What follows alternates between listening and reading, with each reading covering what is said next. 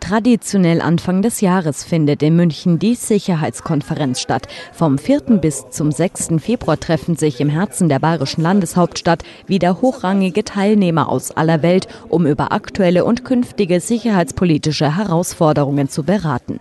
Konferenzleiter Ischinger hat auch die diesjährige Veranstaltung unter ein zusammenfassendes Motto gestellt. Internationale Sicherheitspolitik vor neuen Herausforderungen von der Finanzkrise bis zum Cyberwar. Ein komplexes Themenfeld. Das besondere Charakteristikum der Konferenz in diesem Jahr ist, dass wir völlig neuartige Fragen in der internationalen Sicherheitspolitik neben den klassischen Fragen auf die Tagesordnung gehoben haben. Neben klassischen Themenblöcken wie zum Beispiel Afghanistan, nukleare Abrüstung oder das NATO-Russland-Verhältnis werden also auch neue Themen behandelt. Eines davon die Auswirkungen der Wirtschafts- und Finanzkrise auf die Sicherheitspolitik der Länder. Und zwar nicht nur in Hinblick auf Entwicklungs- oder Verteidigungsbudgets sondern beispielsweise auch auf die Frage der weltpolitischen Rolle und Qualität Europas. Äh, es gibt ja Fragezeichen an der Bestandskraft Europas, äh, Stichwort Euro. Welche strategischen Auswirkungen hat das? Wie sieht man Europa aus China und umgekehrt?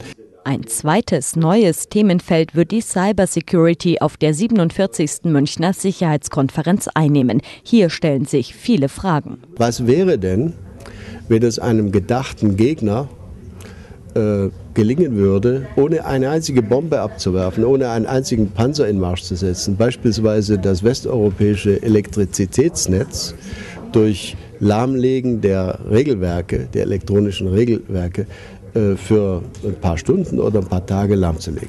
Es geht also diese Frage weit über das Stehlen von Daten, vor denen sich Unternehmen und Staaten schützen müssen, hinaus. Es geht darum, kann durch elektronische Mittel, durch, über das Internet äh, in die Funktionsfähigkeit von Infrastruktur, in die Funktionsfähigkeit von Firmen, von Staaten so eingegriffen werden, dass das Ergebnis genauso ist, als hätte man einen Bombenteppich gelegt.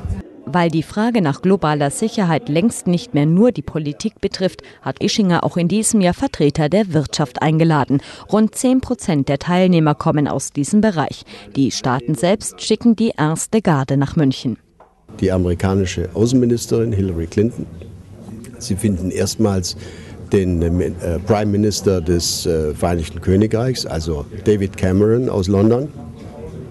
Sie finden den russischen Außenminister Sie finden den nationalen Sicherheitsberater der indischen Regierung, den pakistanischen Außenminister, den Präsidenten Karzai aus Afghanistan nicht zu vergessen und äh, neben äh, fünf Mitgliedern der Bundesregierung, angeführt von Bundeskanzlerin Merkel, äh, insbesondere auch, den darf ich nicht vergessen, äh, den Generalsekretär der Vereinten Nationen, Ban Ki-moon.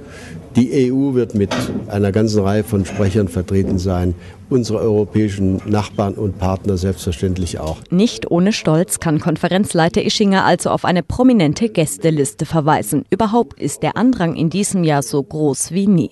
Dieses Jahr bricht die Münchner Sicherheitskonferenz alle Rekorde, muss man sagen. Wir haben über 70 äh, Delegationen aus aller Welt, die nach München reisen werden. Wir haben über 350 akkreditierte Journalisten. Wir haben insgesamt im Konferenzsaal über 350 Teilnehmer äh, aus aller Welt in München zu Gast. Äh, es ist dieses Jahr mal wieder soweit. Äh, München steht im Mittelpunkt der Weltpolitik. Das bedeutet hohe Erwartungen. Zum einen an die Konferenzteilnehmer, denn obwohl am Ende der Sicherheitskonferenz kein Abschlusskommuniqué steht, soll das Treffen doch Ergebnisse bringen. Zum anderen sind aber auch die Erwartungen an den Gastgeber nicht gerade gering. Er hat eine Art, unideologisch, pragmatisch, politische Probleme sozusagen zu sezieren, sie auseinanderzunehmen und äh, einzuordnen wie ein, ein Mosaik in der Gesamtproblematik äh, immer Ursachen und Wirkungen sehr deutlich zu benennen. Und diese Art von praktischer Erfahrung, die ich mit ihm gemacht habe in den letzten Jahren, das, glaube ich, äh, tut der Sicherheitskonferenz sehr gut. Der Stellenwert der Münchner Sicherheitskonferenz ist hoch. Schon lange genießt die Veranstaltung weltweites Ansehen und ist ein fester Bestandteil des internationalen Kalendariums. Auch der Tagungsort trägt dazu bei. Anders als etwa in Davos, wo sich Tausende von Teilnehmern über mehrere Tage in verschiedensten Hotels und, und äh, Konferenzzentren treffen, sind in München bei der Sicherheitskonferenz alle Teilnehmer in einem Raum, die ganze Zeit. Eine enorme Gelegenheit, auf engstem Raum sich auszutauschen. Man kann sich im Grunde nicht aus dem Wege gehen. Ich dank, danke den Münchner Bürgern, die überwiegend tolerant und weltoffen sind. Und meine Teilnehmer sind immer des Lobes und des Dankes voll für die großartige Münchner Gastfreundschaft.